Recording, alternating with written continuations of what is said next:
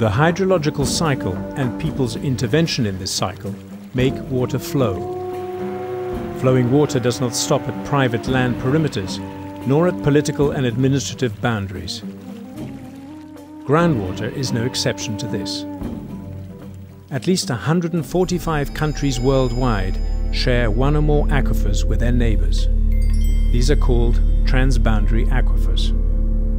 Groundwater interventions in such aquifers at one side of the border may result in groundwater changes on the other side. The importance of having sufficient quantity and proper quality of groundwater for people on both sides of the border raises issues of groundwater ownership and sharing. Groundwater-related tensions occur when the resource is scarce. Tensions rise even more easily when access and control over the resource are inequitably distributed over the various users. The ongoing civil conflict in parts of northern Kenya and Uganda is illustrative.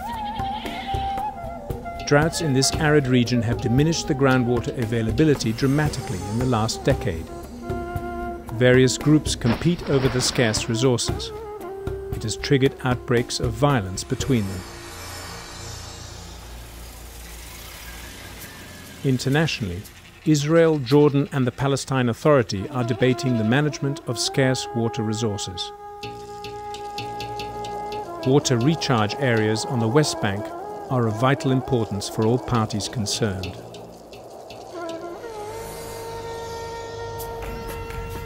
Fortunately, cases where people find cooperative solutions for sharing scarce groundwater resources outnumber the cases of disputes and conflicts.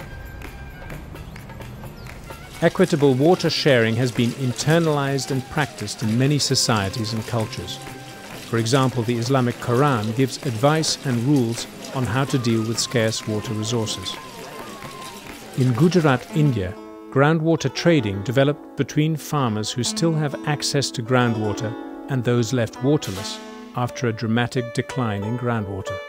Instead of starting a conflict, people chose a mechanism of cooperation to deal with the scarcity.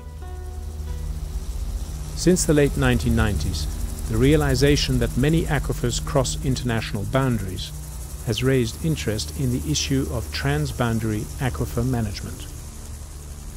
International and regional organizations have forged cooperation between countries on transboundary aquifers, usually starting with inventories of these aquifers.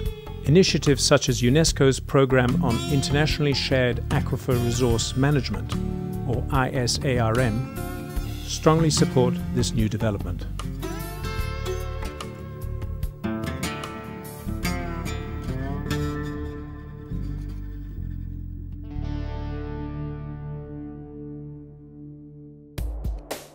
Operational transboundary aquifer management needs favourable conditions this includes building awareness among users, scientists, water managers, policymakers and politicians.